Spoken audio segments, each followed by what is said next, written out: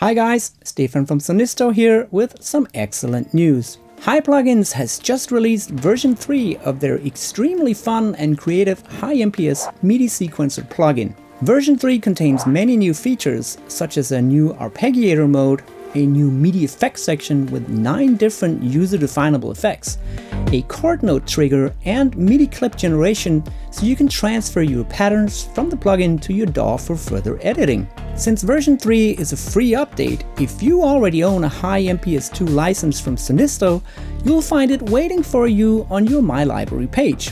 All you need to do is hit the install button and a presto, HY-MPS 3 will be downloaded, installed and activated all in one go.